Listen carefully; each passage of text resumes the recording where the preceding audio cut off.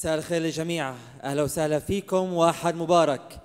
اليوم بعضنا البعض نحتفل بالأحد الثامن عشر من زمن السنة.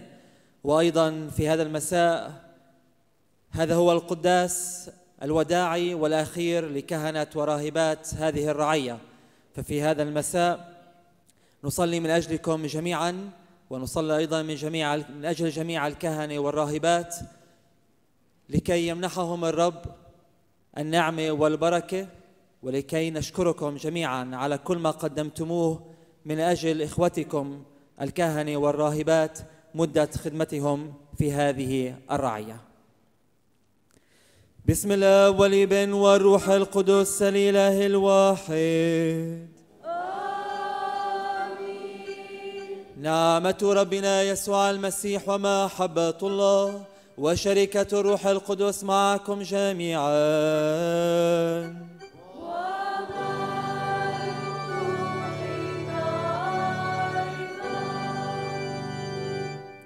أيها الإخوة والأخوات الأعزاء في بداية هذا الاحتفال لنذكر خطايانا نندم عليها لكي نكون أهل للتناول المقدس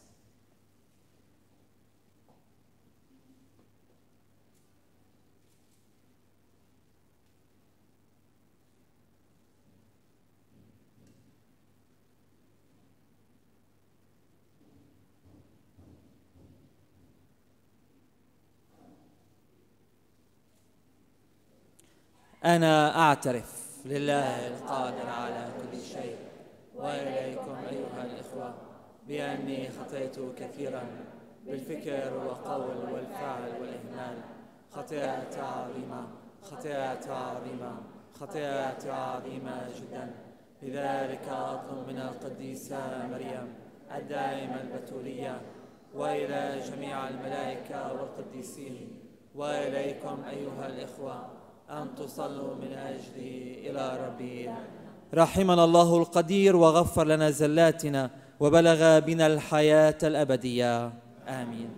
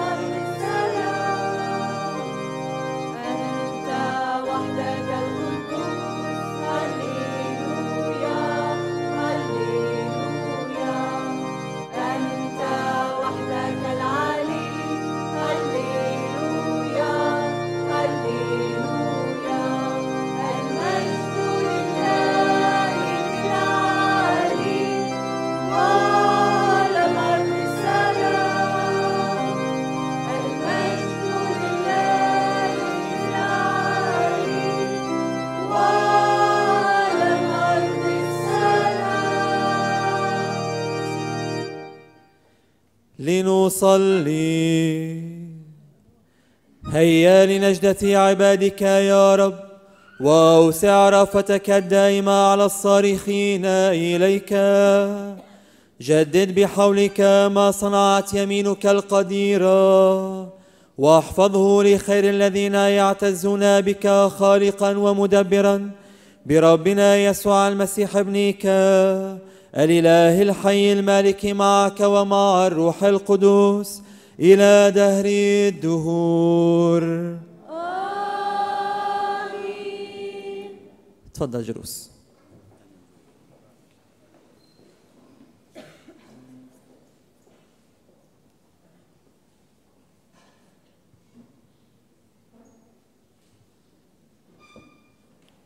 القراءة الأولى.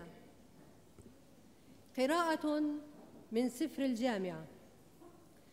باطل الأباطيل يقول الجامعة. باطل الأباطيل وكل شيء باطل لأنه رب إنسان كان تعبه بحكمة وعلم ونجح ثم تركه نصيبا لإنسان لم يتعب فيه. هذا أيضا باطل وشر عظيم. فأية فائدة للإنسان من جميع تعبه ومن كآبة قلبه التي عاناها تحت الشمس.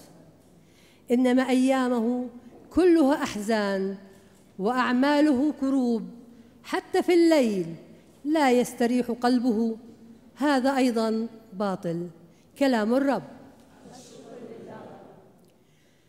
أشبعنا في الصباح من حبك فنفرح ونبتهج.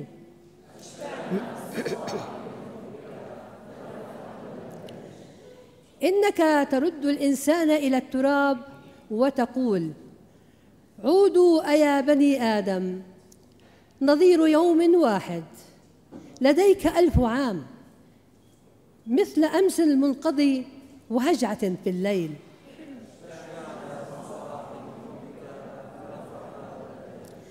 تجرفهم فما هم إلا الأحلام. ويصبحون باكرا عشبا يزول يزهر في الصباح ويغدو ناميا وييبس في الأصيل ويمسي ذاويا.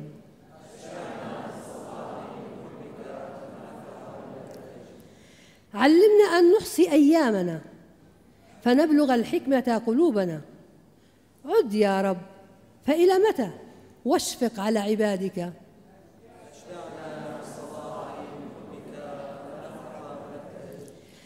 أشبعنا في الصباح من ودادك فنفرح ونبتهج طوال أيامنا. ولينزل أنعام إلهنا علينا. ربنا يسر لنا عمل أيدينا. أيد ما عملت أيدينا.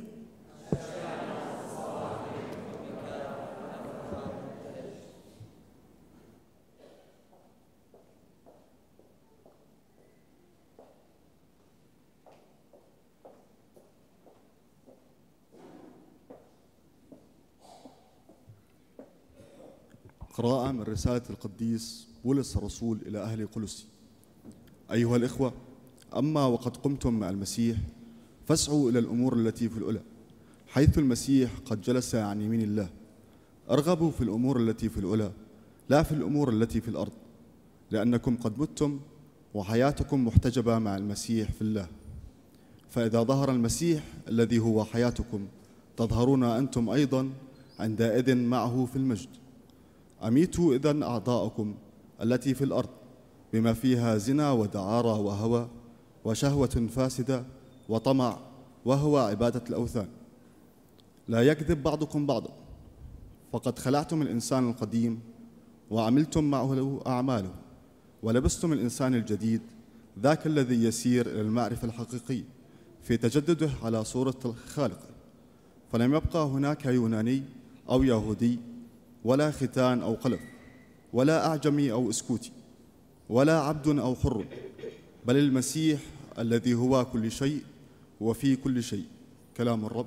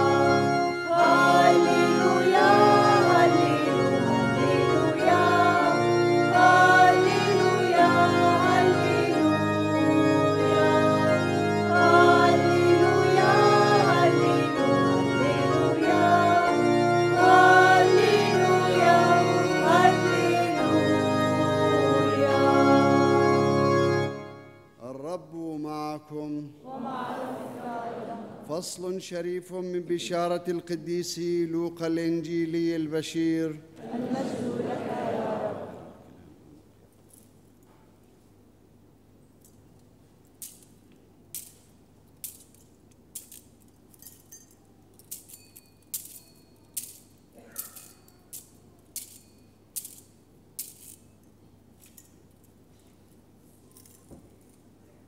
في ذلك الزمان قال ليسوع رجل من الجمع يا معلم مر أخي بأن يقاسمني الميراث.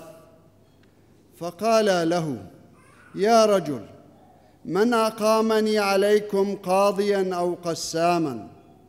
ثم قال لهم تبصروا واحذروا كل طمع لأن حياة المرء وإن اغتنى لا تأتيه من أمواله.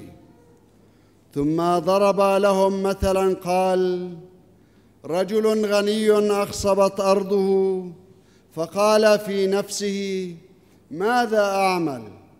فليس عندي موضع أخزن فيه غلالي. ثم قال اعمل هذا أهدم أهرائي وأبني أكبر منها. فاخزن فيها جميع قمحي وأرزاقي وأقول لنفسي يا نفسي لك أرزاق وافرة تكفيك مؤونه سنين كثيرة فاستريحي وكلي واشربي وتنعمي. فقال له الله يا غبي في هذه الليلة تسترد نفسك منك. فلمن يكون ما أعددته؟ فهكذا يكون مصير من يكنز لنفسه ولا يغتني عند الله. كلام الرب. التسبيح لك أيها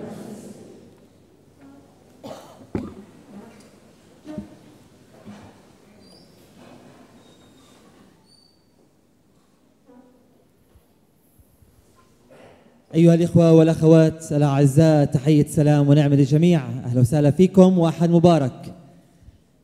اليوم آخر كرزة أمامكم جميعا وكثير مبسوط أني أشوف هاي الأعداد الكبيرة موجودة جوا الكنيسة اليوم وهذا الشيء بدل على محبتكم الكبيرة لإلنا فشكرا كثير لوجودكم ولصلاتكم من أجلنا.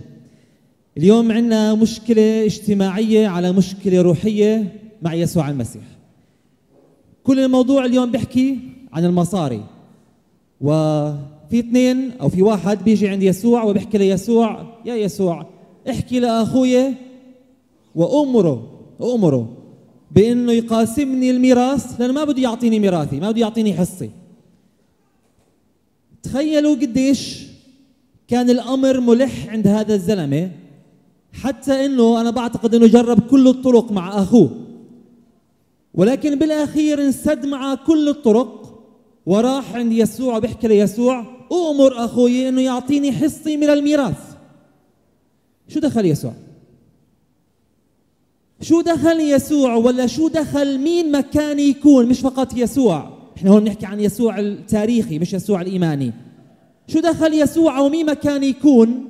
إنه يكون هو واسطة بين أخو وأخ. ولو للأسف هذا الواقع اللي إحنا عم نعيش فيه بأنه الأخوة عم ترخص والدم اللي ما بيصير مية صار مية. وانباع. بطل يهمنا بأنه أنا أخوي هذا.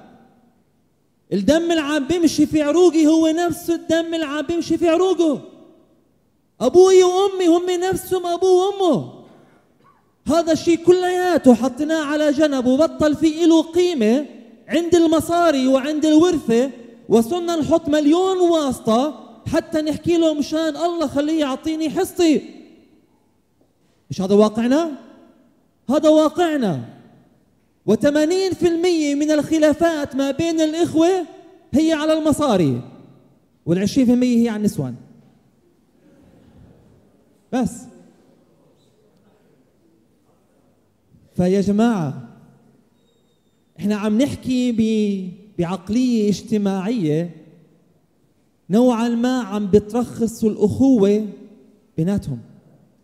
صار أنا مستعد إني أبيع أخويا صرت مستعد إني أخسره صرت مستعد إني ما أحكي معاه صرت مستعد إني يكون بابه مع بابي وما ادق بابه. ليش؟ من وراء مصاري. من وراء طمع. هاي حصتي هدول مصرياتي هدول حقي. انت ما إلك دخل فيا هيك أبوي قسم لي في الورثة. أنا أكثر واحد اشتغلت فيكم. ولو بعناهم بعنى الأخوة كلياتها. وننسى الأخوة. قديش في عنا أخوات مظلومات. بنمشي بحسب الشرع الشرع المملكة الأردنية الهاشمية. ثلثين بثلث الأخوة صار بدها شرع أو الأخوة صار بدها قانون يحكم بانه الأنثى تأخذ حصة والرجل يأخذ حصتين؟ الأخوة صار بدها شرع يحكم بأنه أخلي أختي تعيش فقيرة ما عندها إشي وأنا أعيش ملياردير فقط لأنه هيك الشرع عم بيسمح لي؟ هيك القانون عم بقسم لي؟ وعم نستنى مجلس النواب وعم نستنى مجلس الكنائس حتى يجي ويبت بالقانون بالمساواة بين الرجل والمرأة في الديانة المسيحية. لا بدنا مجلس كنائس ولا بدنا مجلس نواب. إحنا بدنا ضمير صاحي منا أخوة بين بعضنا البعض هي اللي تحكم. فقط لا غير. ما بدنا ولا أي شيء مستعد إني أظلم أختي وما أعطيها ميراثها. ما منطلع ورثتنا لناس غربية. ولو راضي إنك تعطي أختك اللي هي شرفك وعرضك لواحد غريب بالنسبة لإلك بس ما بتعطي مصرياتك لواحد غريب. ما بتعطي مصريات أبوك لواحد غريب. شو استفدنا من هذا الشيء كلياته؟ استفدنا إنه عبينا جيبنا ولكن خسرنا ضميرنا. استفدنا بأنه امنا مستقبلنا ولكن خسرنا روحنا وخسرنا محبتنا لبعضنا البعض. صار الأخ ما يقدر يسلم على أخوه. وبرجع بكرر كلمات يسوع المسيح لنا اليوم. يا غبي اليوم تسترد منك روحك فلمن يكون ما أعددته؟ لمين عم بيكون كل إشي أنت ظلمت فيه أخوك؟ لمين بيكون كل شيء أنت حوشته وحسابات البنوك؟ لمين بيكون؟ بيكون لغيرك. ولكن أنت خسرت الحياة الأبدية. باطل الأباطيل يقول سفر الجامعة. باطل الأباطيل كل شيء باطل. حياة باطلة. مصاري باطلة. الأملاك والغنى هو باطل. الحياة كلها باطلة. الإشي الوحيد اللي ممكن تكسبه هو محبتك. لأخوك الإنسان ومحبة أخوك الإنسان لإلك. شو الفائدة لو كان عندي كل كنوز الدنيا وخسرت نفسي أو خسرت قريبي وخسرت أخوي الإنسان؟ كتاب مقدس جدا واضح وعم بيحكي لنا بأنه الإنسان وإن اغتنى فلا تأتي حياته من الغنى. حياتك هي مش من الغنى ومستقبلك هو مش من الغنى. أعطيني واحد كان قادر وما زال قادر أو رح يقدر إنه يزيد على حياته ولو ساعة واحدة. ما في حدا. كل العلم اللي توصلنا له وكل التجارب اللي عم بيسووها عشان يخلوا الإنسان إنسان خالد ما يموت يستمتع بكل الحياة. مش قادرين يزيدوا على حياته ساعة. فحياتك ما بتستمدها من الغنى المادي. حياتك بتستمدها من الغنى الروحي. خلينا نكون حكماء وما نكون أغنياء. لأنه الإنسان الغني بيعد قديش في معاه مصاري. وين قوتك؟ بمصرياتي. شو في عندك؟ مصرياتي. وبيعتمد على مصرياته. ويسوع بيحكي له يا غبي اليوم تتاخذ منك روحك. أما الإنسان الحكيم اللي بيحكي عنه اليوم المزمور بيحكي لنا يسوع أو المزمور علمنا كيف نعد أيامنا فننفذ إلى قلب الحكمة. يعني يا يسوع علمني كيف أعد أيامي؟ كيف أحضر لآخرتي؟ كيف أعرف بأنه أنا ذهابي إلى الملكوت السماوي هو قريب؟ علمني كيف أعد أيامي فأبلغ إلى قلب الحكمة. كون إنسان حكيم بحياتك. لا تسعى إلى ما ينفى اسعى إلى ما هو خالد. لا تعمل للقوت الفاني بل اعملوا للقوت الباقي للحياة الأبدية. هذا اللي بعطينا إياه يسوع المسيح. إذا بدك تكون غني بابا فرانسيس اليوم بيحكي لنا لا تكون غني بالمصاري. كون غني بالمحبة. كون غني بالرحمة. كون غني بأخوتك لأخوك الإنسان. كون غني وعم تتسابق كيف تعمل الخير لأخوك الإنسان. ونتذكر كلمات القديس بولس في رسالته لأهل فيليبي عن يسوع المسيح. ومع أنه في صورة الله لم يعد مساواته لله غنيمة بل افتقر من أجلنا. يسوع الغني بكل ألوهيته. لم يعد مساواته لله غنيمة. حط كل شيء على جنب. افتقر من أجل مين؟ من أجلنا. افتقر لكي يكون واحد منا. افتقر حتى يعلمنا المحبة. افتقر حتى يكون قريب من ابنه الإنسان. وأنت ما تحط مصرياتك غنيمة لإلك ولا تحطها الهدف لإلك بحياتك. افتقر من أجل أخوك الإنسان ولكن خليك غني بالمحبة. خليك قادر تحط رأسك على مخدتك وانت عارف إنه أنت مش ظالم أخوك ولا ظالم أختك ولا ماكل حق ناس عليك. لأنه كل إشي رايح وأعمالك هي الباقية للحياة الأبدية. نتذكر إخوتي هاي الكلمات اللي بتحكي لنا باطل الأباطيل كل شيء باطل. لو كل يوم الصبح نحن بنصحى وبس بنحكي هاي الآية حتى نتذكر بإنه كل عملي بهذا النهار هو بالأخير باطل إذا ما فيه محبة. باطل إذا ما كان فيه خير. باطل إذا ما كان فيه مسامحة لأخوي الإنسان. خليك غني بربنا وربنا بغنيك بكل خيرات الدنيا. آمين. لنقف إخوتي جميعا. نعلن إيماننا بصوت واحد قائلين نؤمن بإله واحد.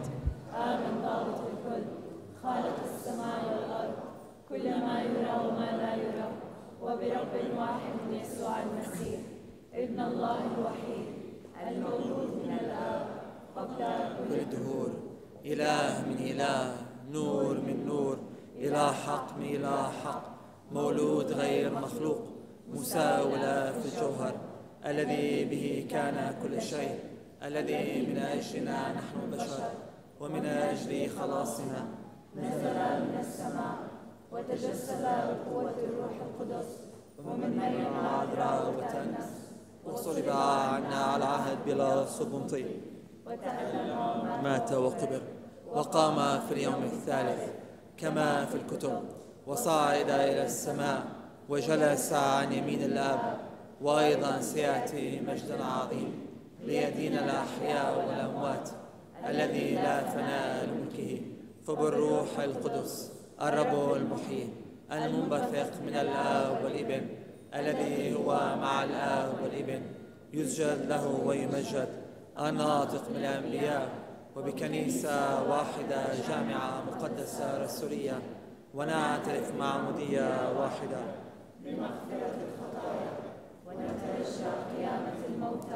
والحياة في الدهر الآتي. آمين. أيها الإخوة الأحباء الرب يسوع يدعو تابعيه إلى الزهد بالدنيا ومالها وبالنفس وأهوائها.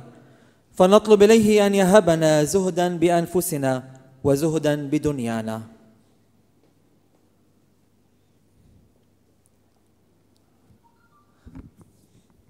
من أجل كنيسة الله المقدسة.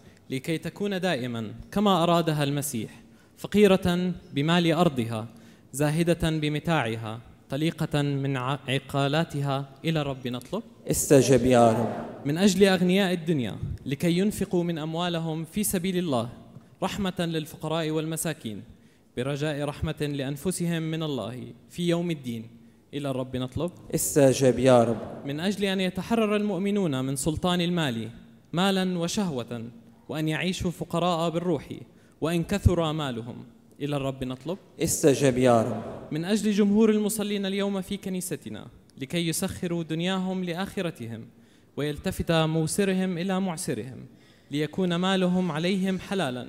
إلى الرب نطلب. استجب يا رب. من أجل أن تتكرم السيدة العذراء وهي كبيرة الفقراء والزاهدين وتعلمنا أن نكون مثلها فقراء بمال الدنيا أغنياء بحب المسيح. إلى الرب نطلب. استجب يا رب وبلحظات من صمت لنرفع فيها جميع نياتنا وصلواتنا الخاصة على هيكل الرب.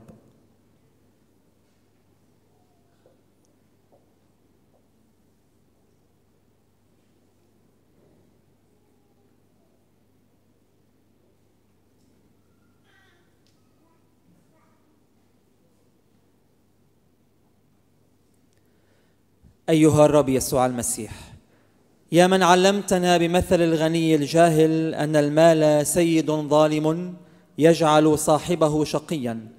نسألك فآتنا أن نستخدم مالنا لسد حاجاتنا وأن نتقرب به إليك وأن نسكو ببذله على الفقراء في عينيك. أنت الحي المالك إلى دهر الداهرين.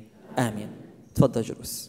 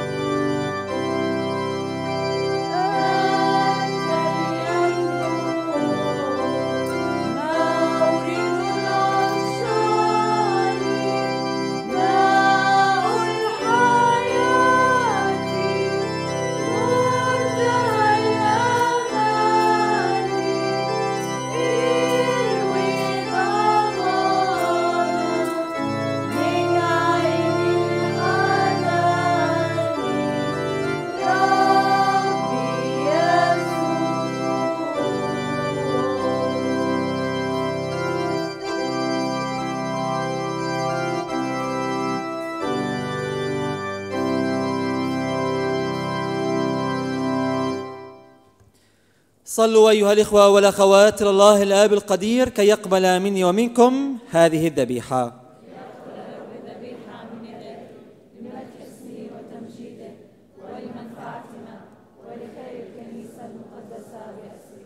قدس هذه التقديمات أيها الآب العاطوف. حتى إذا تقبلتها ذبيحة روحية جعلت منا بأجمعنا تقدمة لمجدك الأزلي بالمسيح ربنا. الرب معكم. لنرفع قلوبنا إلى العلا. لنشكر الرب إلهنا. إنه لحق وعدل واجب وخلاصي أن نشكرك في كل زمان وفي كل مكان. أيها الرب الآب القدوس الإله القدير الأزلي بالمسيح ربنا. هو الكاهن الحقيقي الأزلي منشئ هذه الذبيحة الدائمة. هو أول من قرب لك ذاته قربان خلاص وأوصانا بأن نقرب هذا القربان ذكرا له. فإذا تناولنا جسده المبذول من أجلنا نلنا قوة. وإذا شربنا دمه المسفوك من أجلنا نلنا قداسة. لذلك إننا مع الملائكة ورؤساء الملائكة ومع العروش والسيادات ومع سائر جند الجيش السماوي نواصل التسبيح بنشيد المجد قائلين. قدوس قدوس.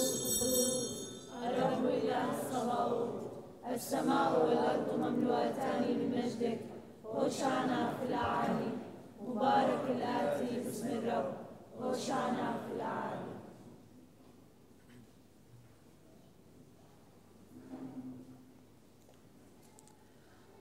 حقا إنك لقدوس أيها الأب ينبوع كل قداسة. فنسألك أن تفيض روحك على هذه القرابين ليقدسها فتتحول من أجلنا إلى جسد وإلى دم يسوع المسيح ربنا. فهو حينما أسلم نفسه للآلام طوعا أخذ خبزا وشكر ثم كسر. وناول تلاميذه قائلا. خذوا فكلوا من هذا كلكم. هذا هو جسدي الذي يبذل من أجلكم.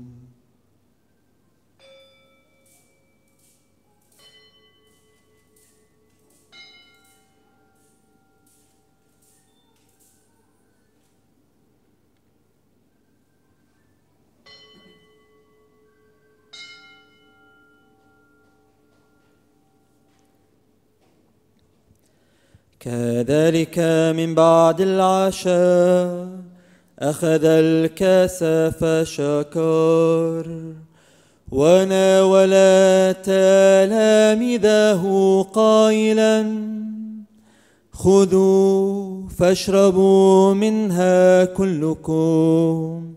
هذه هي كأس دمي.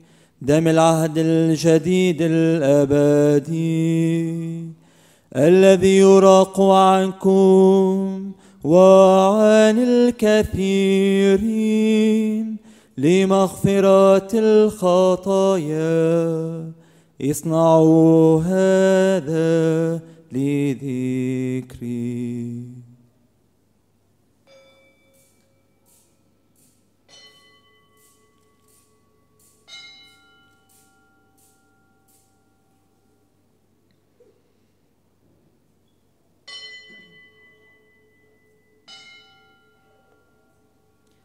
هذا سر الإيمان. كلما أكلنا هذا الخبز. وشربنا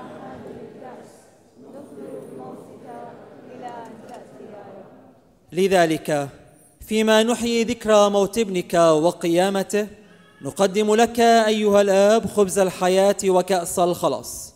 ونشكرك على أنك أهلتنا لأن نمثل أمامك ونخدمك. نبتهل إليك خاشعين. نحن الذين نشترك في جسد المسيح ودمه. كي يجمعنا روحك القدوس ويوحدنا. اللهم اذكر كنيستك المنتشرة في المسكونة كلها وبلغها كمال المحبة. مع حبرنا الأعظم البابا فرانسيس بطريركنا بيير باتيستا. اسقفنا جمال وسائر الكليروس. اذكر إخوتنا الذين رقدوا على رجاء القيامة. وجميع المتوفين إلى رحمتك. جعلهم ينعمون بنور وجهك البهي. وإياك نسأل أيضا أن تسبغ مراحمك علينا أجمعين وأن يكون لنا نصيب في الحياة الأبدية. مع القديسه مريم البتول والدة الإله. مع القديس يوسف خطيبها العفيف. مع الرسل الأطهار وجميع القديسين الذين أرضوك جيلا بعد جيل. فنسبحك ونمجدك إلى الأبد. بابنك يسوع المسيح.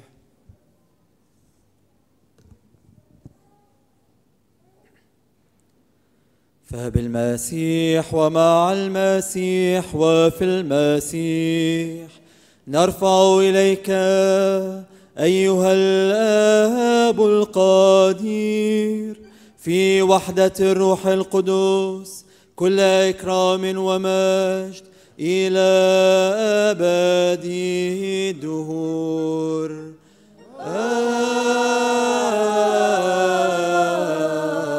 آمين. والآن أيها الإخوة والأخوات الأعزاء كعائلة واحدة عائلة المصدار إخوة لبعضنا البعض لنا أب واحد لنرفع أيدينا ونصلي الصلاة الربية مرنمين.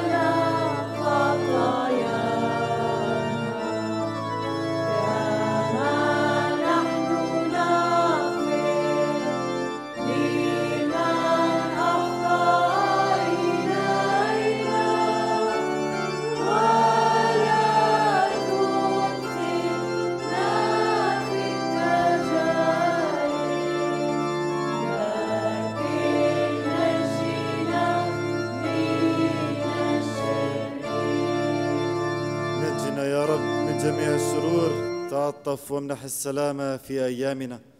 اعضدنا برحمتك واحفظنا من الخطيئة لنأمن كل اضطراب. نحن المنتظرين في رجاء سعيد مجيء مخلصنا يسوع المسيح. لأن لك الملك والقدرة والمجد أبد الدهور أيها الرب يسوع المسيح يا من قلت لرسلك السلام أستودعكم سلامي أمنحكم. لا تنظر إلى خطايانا بل إلى إيمان كنيستك. وتنازل وأولها الوحدة والسلام بحسب مشيئتك. أنت الحي المالك إلى دهر الدهور. ليكن سلام الرب معكم دائما. بمحبة تبادلوا سلام المسيح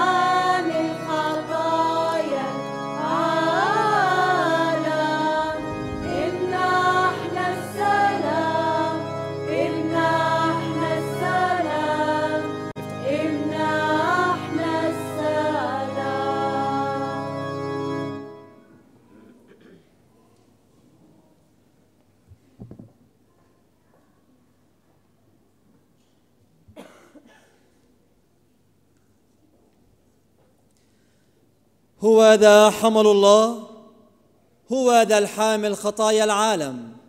طوبى للمدعوين إلى وليمة الرب. يا رب لست مستحقا أن تدخل ترى صفي ولكن كل كلمة واحدة فتبرأ نفسي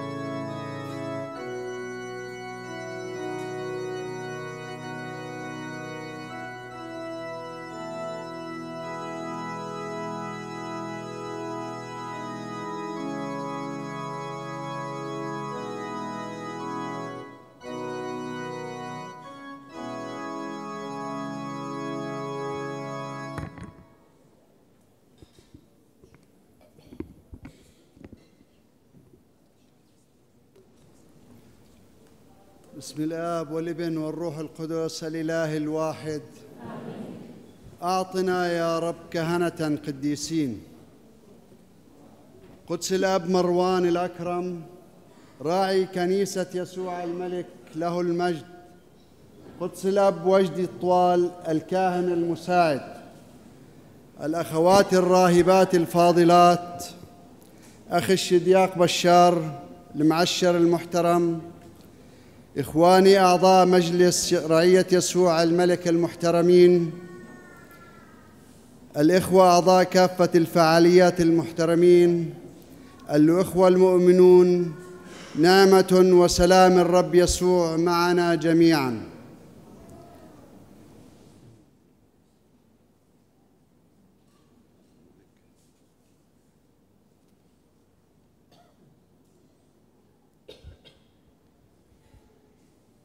قدس الاب مروان ثلاث سنوات خدمت رعيتنا حيث مررنا بهذه السنوات بفترة قاسية وهي وجود وباء عالمي أي كورونا.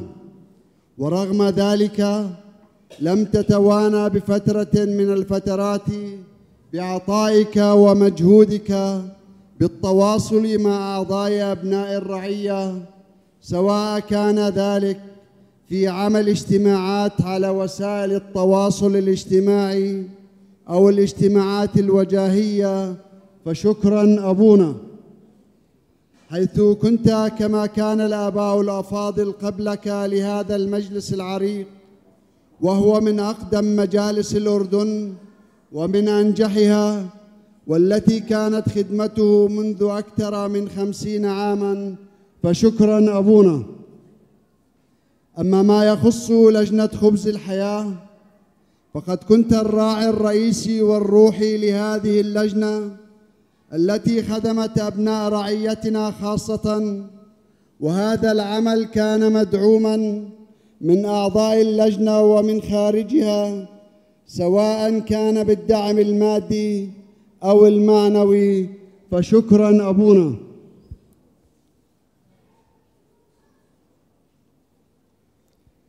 الآباء الأعزاء إذ نستذكر دائما رعيتنا التي هي محط فخر واعتزاز على قلب جميع المؤمنين والتي تأسست عام 1890 ميلادية حيث كانت النيابة البطريركية وخدم فيها آباء أجلاء كثيرون وكانت من أكبر رعايا الأردن فلنصلي من أجل الآباء الذين سبقونا إلى الديار الأبدية.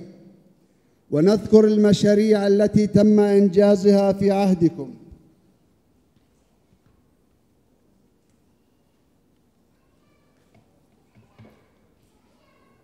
إنجازات كهنة الرعية خلال ثلاث سنوات. مشروع صيانة ديوان الرعية.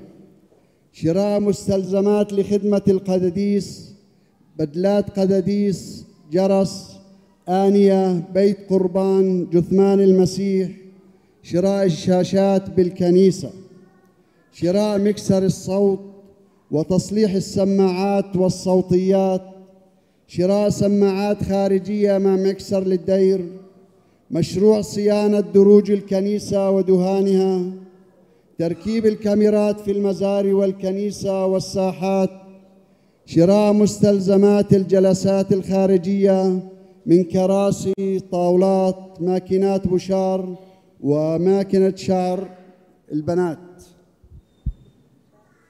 مشروع صيانة الساحات والحمامات. مشروع غرفة الحراس والمقصف. مشروع غرفة الحارس عند مدخل الدير الرئيسي. مشروع المزار الخارجي. مشروع عزل سطح الكنيسة فوق الغرف وفوق الديوان. مشروع غرف الكشافة والأخويات. مشروع باب الكراج الخلفي ومدخل الدير الخلفي. تدريب عازف للجوقة من أبناء الرعية. تدريب الجوقة وإعادة تشكيلها وإدارتها. تدريب وتنظيم خدام الهيكل. تأمين غرفة جديدة لمجلس الشبيبة وقيادة الشبيبة والجوقة. تحديث ابلكيشن الرعية ومتابعته. عمل صفحة للرعية على الفيسبوك وتنشيطها. عمل مجموعة واتساب لأبناء الرعية. تأمين باص للمصلين في الاحتفالات وقداديس الآحاد. الله يعطيكم العافية أبونا على جهودكم الكبيرة اللي أبدعتوا فيها.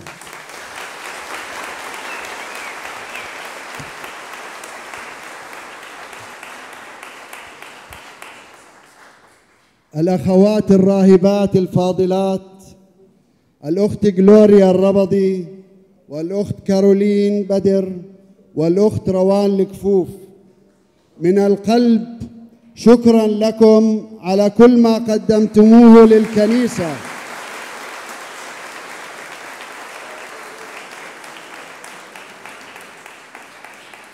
وعلى عطائكم المستمد من الرب يسوع المسيح متمنين لكم دوام التوفيق في رعاياكم ومهماتكم الجديدة. أختنا العزيزة جنيت جميعان أنت دائما كنت وستبقين دوما في قلوبنا فلك منا المحبة والتقدير والاحترام في رعيتنا. الإخوة المؤمنون جميعا تستحق الأخت جنيت زقفة كمان كبيرة. الإخوة المؤمنون جميعا إننا اليوم سنودع كهنة أعزاء على قلوبنا. قدس الأب مروان سيذهب إلى روما لليل الدكتوراه في الحقوق الكنسية. وقدس الأب وجدي سيذهب إلى رعية قلب يسوع الأقدس لاعي العلي.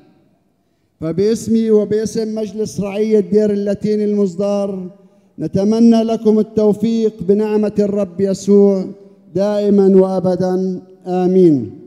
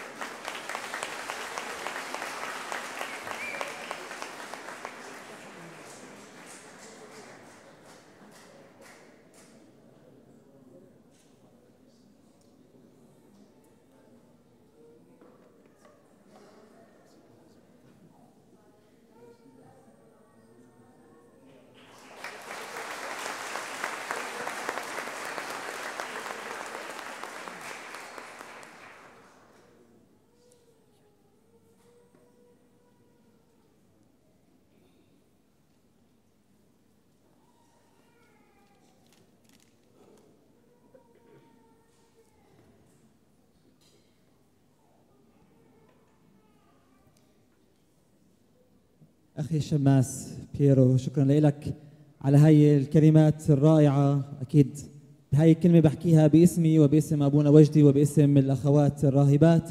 فشكرا كثير لك على هاي الكلمات الرائعة والمشجعة واللي فيها محبة كبيرة. وشكرا لك من الأعماق على كل شيء قلته. له أثر كبير عميق جوا قلوبنا وله مكان جدا كبير في قلوبنا. إخوتي الأعزاء أنا مش كثير شاطر بكلمات الشكر وأسمحوا لي إني أحكيها باللغة العامية مش باللغة الفصحى. من أول يوم لإلي بهاي الرعية مع أبونا وجدي والأخوات الراهبات قبل ثلاث سنوات وبأول اجتماع لإلي مع فعاليات الرعية وخاصة مجلس الرعية كان في توجه وهذا التوجه هو الوحيد اللي اشتغلنا عليه وهو التوجه الرعوي. الرعية بحاجة دائما لنفس جديد. وتوجهنا كان هو إنه فعليا نرجع نحط الحياة برعيه المصدار ونستمر على خطى أبائنا اللي سبقونا وإحنا بنمشي على خطاهم. وكان دائما هذا هو مخططنا. كان ولا مرة فكرنا بمشاريع إنها هي تكون الأساس في شغلنا. الأساس دائما هو فعليا نحاول نجمع الرعيه عشان هيك إذا بتشوفوا وشفتوا واختبرتم هذا الشيء كل الفعاليات اللي عملناها هي كانت فعاليات حتى فعليا الناس ترجع تحس بانتماء لهاي الرعية وترجع تنضم لهاي الرعية ونحيي هاي الرعية بوجودكم. لأنه أي رعية في الأردن مش فقط رعيتنا هي ميتة من دون الناس. لأنه الناس هم الحجارة الحية لهاي الرعية. هم اللي بحطوا النفس فيها وأنتم بالفعل ساعدتونا بالسنوات الماضية على أنه نرجع فعليا نحيي ونحط النفس بهاي الرعية. وكل خدمة عملناها هدفها كان هو الشخص المؤمن هدفها كان انتو. وفعليا ولا مرة حاولنا نفكر بحالنا أو نفكر بأي حدا. ولا مرة حاولنا إنه نرفع من إنسان ونقلل من قيمة إنسان. كان بالنسبة لنا كل الأشخاص سواسية وإن شاء الله يكون حققنا هذا الهدف بمسيرتنا وبرؤيتنا لهاي لهاي الرعية. الإنجيل اليوم مش بالصدفة اجى بهاي الكلمات كلمات قوية. وأنا باخذها بشكل شخصي لإلي خاصة من الرسالة الأولى اللي بتحكي باطل الأباطيل كل شيء باطل. ما في شيء دائم. كل المشاريع اللي تفضل الشماس ذكرها مشكور نعم إلها قيمتها وإلها مكانتها ولكن بالأخير باطل. مشاريعنا باطلة. كل فعالية إحنا عملناها كل نشاط إحنا عملناه هو باطل. الشيء الوحيد غير الباطل هو محبتكم لإلنا ومحبتنا لإلكم. الشيء الوحيد اللي مش باطل.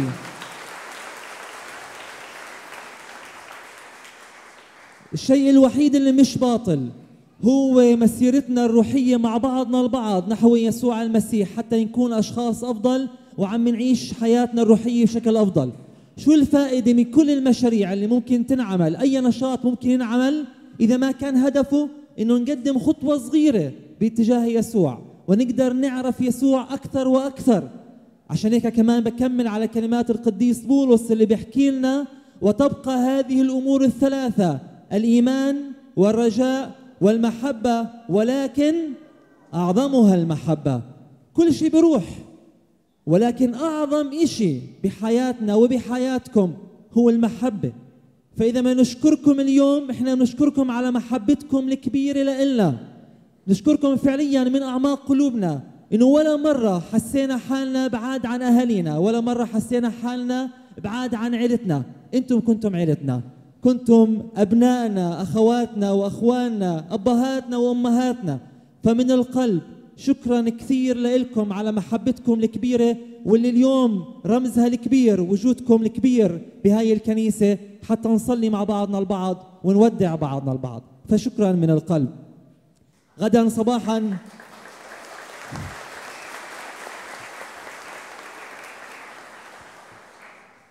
غدا صباحا. أنا وأخوي ابونا وجدي رح نغادر هاي الكنيسة. كل واحد رايح لمهمته وخدمته الجديدة. نعم إحنا عم نغادر المكان ولكن أنتم مش عم بتغادروا قلوبنا. رح أضلكم جوا القلب. رح أضلكم جوا القلب بصلاتنا ورح أضلكم جوا القلب بذكرياتنا. كل مكان بهاي الكنيسة وكل زاوية بأركان حرم الدير هذا كلياته في له ذكريات وفي له مواقف ما بننساها ابدا ورح نضلنا نتذكرها ونصلي لكم فيها دائما. فشكرا لكم من جديد على محبتكم الكبيرة لنا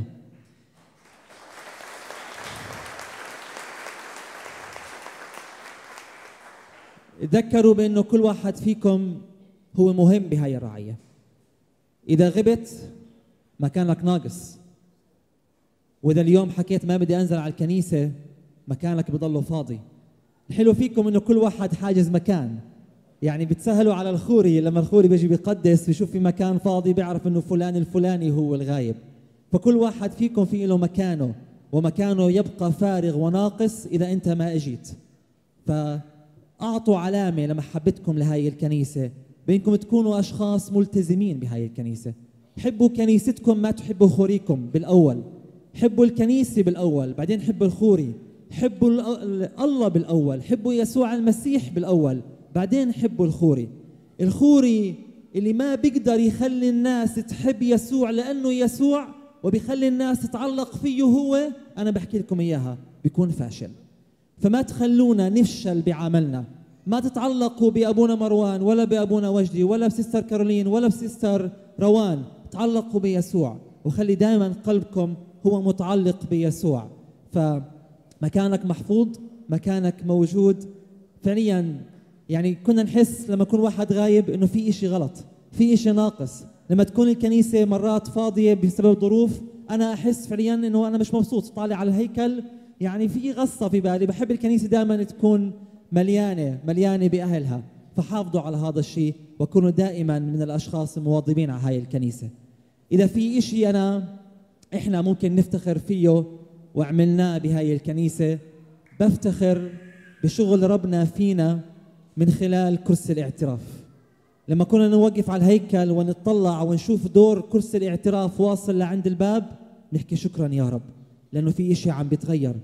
لما بنيجي على الكنيسة وبنلاقي كل الكنيسة مليانة نحكي شكرا يا رب لأنه نعمتك عم تشتغل فينا. فحافظوا على هذا الشيء. الاعتراف مصالحة مع الله مهمة جدا بحياتكم الروحية. التناول المقدس مهم جدا بحياتكم الروحية. وبدي أضيف شغلة ثالثة وهي الفقراء بحياتكم. رعيتنا للأسف مليانة بكثير من العائلات الأقل حظا بيناتنا.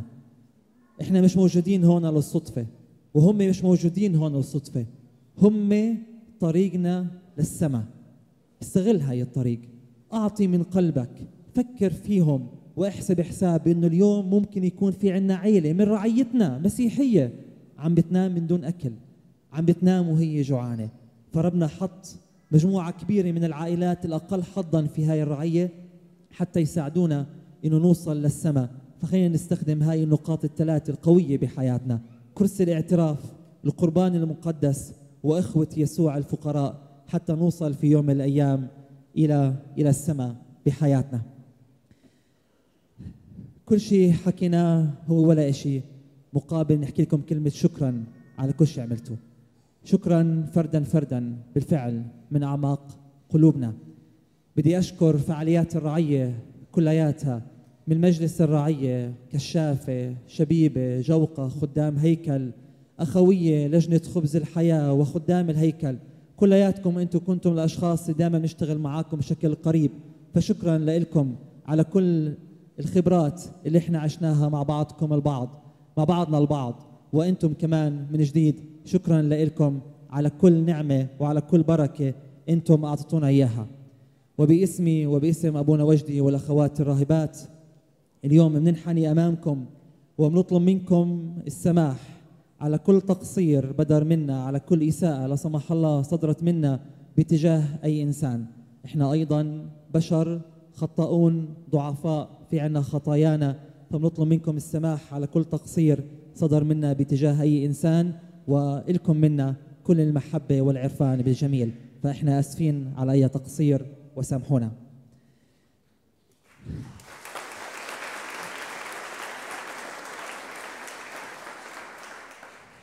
خلص خلصت ما راح أطول عليكم.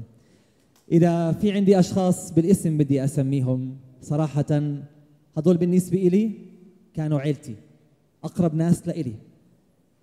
أقرب ناس لإلنا واللي كنا ننادي أسمائهم أكثر من إني أنادي اسم أبوي وأمي ومرات أكثر مما أنادي اسم أبونا وجدي بدي أحكي اسم كيرلس وصموئيل اللي واقفين برا دائما عم بحرسونا وعم بيخدمونا. ولا مرة ولا مرة طلبنا منهم إشي وتأففوا أو حكوا لنا لأ. كانوا بالفعل أوفياء وما زالوا وعم بيخدموا الكنيسة من كل قلب ورب. فأنا أخوهم الصغير عم بحكي لهم شكرا على كل شيء هم عملوه لخدمة هذا الدير. بدي أشكر أمنا الثانية ليليان أم جوناثان. هي ست البيت أختنا اللي عم تخدمنا في في ديرنا. فشكرا لك على كل شيء أنت عملتيه على كل تعبك على محبتك لإلنا. وفعليا دائما كنا نحسك بأنه أنت ماما الثانية أمنا الثانية لنا جوا هذا الدير. شماس بييرو والشدياق بشار. شكرا لكم أنتم أخوتنا بالدرجات الكهنوتية وبخدمة الهيكل. شكرا لكم على كل خدمة قدمتوها معنا وبنعتذر على أي إساءة لا سمح الله أو تقصير صدرت منا باتجاهكم.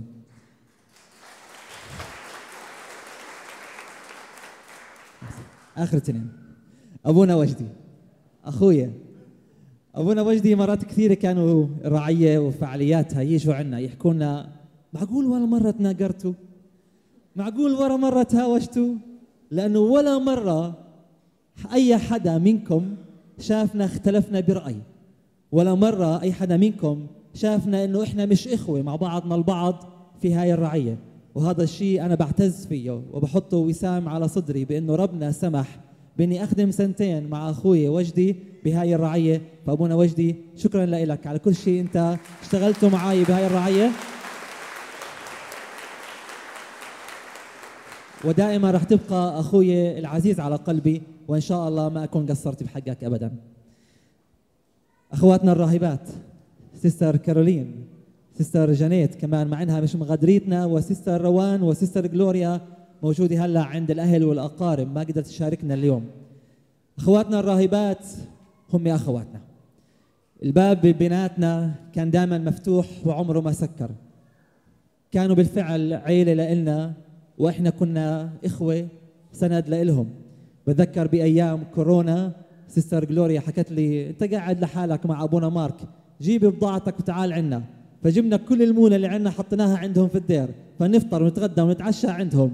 فبالفعل هم كانوا أخوات لإلنا. عمرهم ما قصروا معنا بأي شيء وعمرهم ما زعلونا بأي شيء فكل الشكر والتقدير لأخواتنا الراهبات اللي هم أمهاتنا اللي بيصلوا لنا دائما هم الأشخاص اللي بيشتغلوا بالخفية.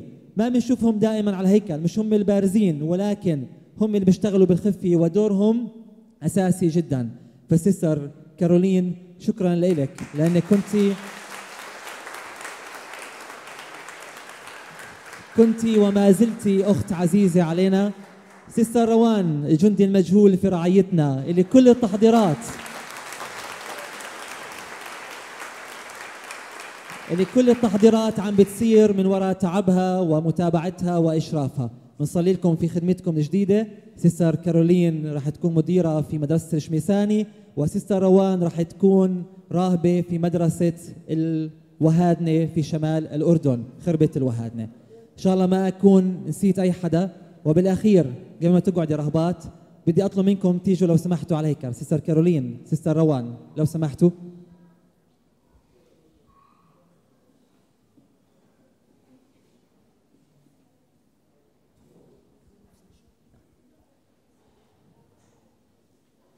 وتقبلوا منا هاي الهدية الصغيرة اللي هي باسم الرعية كلياتها. كشكر لكم وعرفان بالجميع.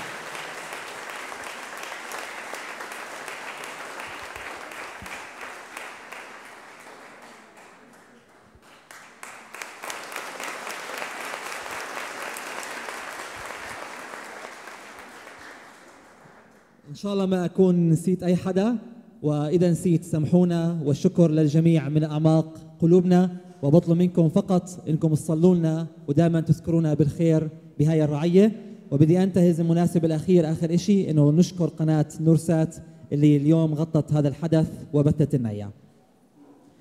لنصلي